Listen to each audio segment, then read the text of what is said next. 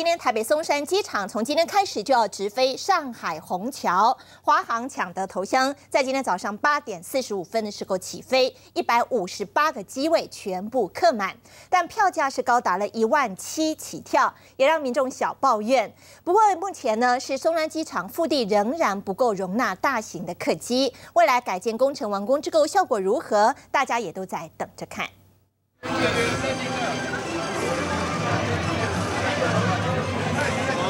郝龙斌站在登机口，带着得意的笑，因为松山直飞上海虹桥的心愿终于实现。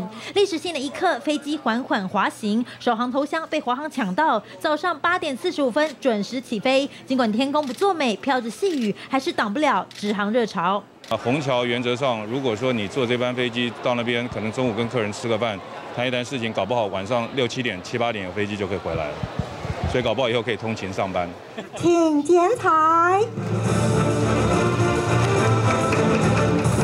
宣布松山虹桥可以对飞，机位立刻被秒杀，但机票一万七起跳，民众还是觉得有点贵。我们认为是太贵了。到香港是一个小时三十分钟，那香港的票价通常是八九千块，可是这个加十五分钟。你们算算看，你们觉得合理吗？不过航线省时省航程，两岸四家业者抢得黄金航线，每周二十八个班次，等于是一天两班。除了直飞虹桥，松山机场十月份还将跟日本羽田机场对飞，未来到底能不能负荷？呃，交通部目前已经拨了六亿的经费啊，我相信将来当改建工程完成以后，松山机场绝对会是一个小而美，呃，有国际水准的机场。